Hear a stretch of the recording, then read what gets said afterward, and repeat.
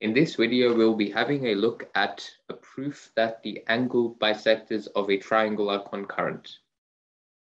Before we have a look at the solution, if you like, you can pause the video and have a go at the problem yourself before having a look at the solution. Okay, so let's uh, have a look at the solution. so you have this triangle ABC over here, and you have these angle bisectors going from A, B, and C, where we have equal angles, alphas, betas, and gammas. And we need to prove that they intersect at one point over here. So what I'll do is I'll make the angle bisectors from A and B meet at the point I. So we have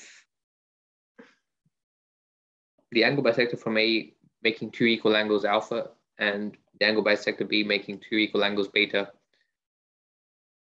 What I'll prove is that the angle bisector from C will also pass through the point I.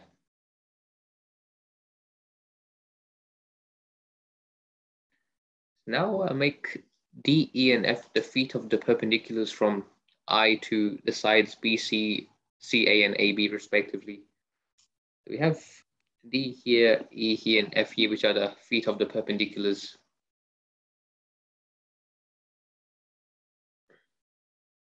And now we'll have a look at some congruent triangles. So if you look at triangles IBD and IFB, we see in these two triangles over here, we see that IB, side IB or BI is common. We also have two 90 degree angles, IDB and IFB. And we also have two equal angles beta over here. This gives us triangle IBD is congruent to triangle IBF using AAS congruence. So this gives us that ID and IF must be equal sides. We have ID and IF are equal. And now we also look at triangle AEI and AFI. In triangle AEI and AFI, we have that AI is common to both triangles, so these two triangles. So AI is common angles AEI and AFI are 90 degrees, and also we have two equal angles alpha. This gives us that AEI and AFI are also congruent by AAS similarity.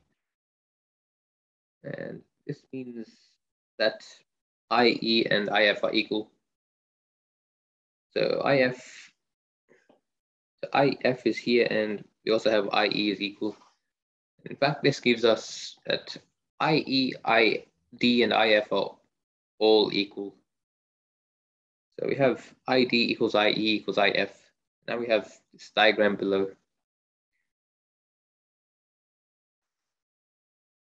Now we use one final pair of congruent triangles. So you see that if you look at these two triangles over here, you see that ID and IE are the same. IC is common and IDC and IEC are 90 degree angles. This means that ICD and ICE are congruent triangles. And this finally gives us that these two angles must be equal from the congruent triangles. So we have, must have two gammas over here. This gives us that CI is the internal angle bisector of the angle ACB. And this finally proves that the angle bisectors of triangle are concurrent at the point I. This completes the proof.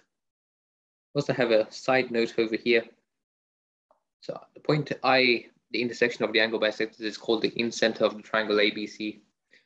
It's also the center of the circle that is contained in ABC and is tangent to each of the sides at D, E, and F.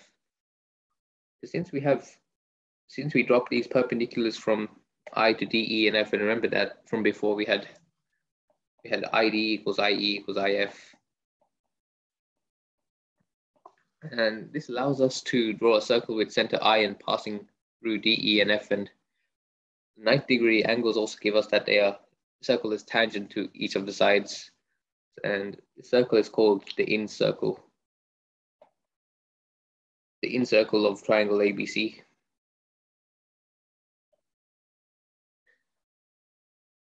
Okay, so that's just about it for this video. Hope you enjoyed this video. Thanks for watching and I'll see you next time.